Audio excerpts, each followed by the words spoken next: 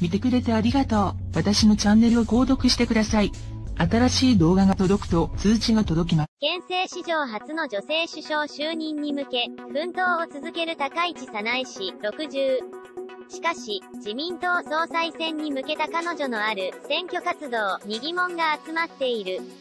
19日、ツイッターで皆様に向けてメッセージを取りました。ぜひご覧ください、というコメントともにともに YouTube 上で公開したメッセージ動画へのリンクを投稿した高市氏。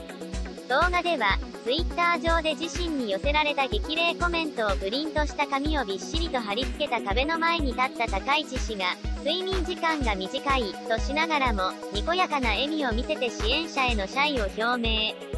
そして、とにかく私は日本を守るために、未来を開くために精一杯働いてまいります、と意気込みを語っていた。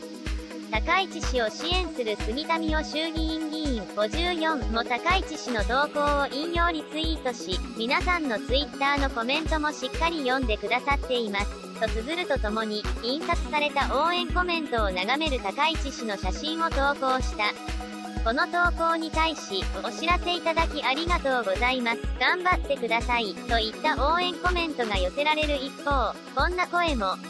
なんでプリントしてんの？紙かよ W 今時 W。紙代もったいなくね。スマホで見たらええやん。基本的にスマートフォンやパソコンで見ることができる Twitter のつぶやきをわざわざ出力して、貼り出したことに疑問を呈する人もいたようだ。というのも高市氏は、衆議院でのペーパーレス化推進派なのだ。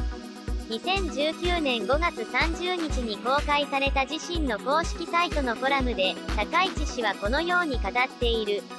今日は、嬉しいことがありました。質問主意書、及び、これに対する内閣の答弁書について、ペーパーレス化することを可能にする、衆議院規則の一部を改正する規則案を議員運営委員会で起草し、本日の衆議院本会議に緊急上呈し、全会一致で可決されたのです。果たして、自身の選挙活動のペーパーレス化について高市氏はどう思っているのだろうか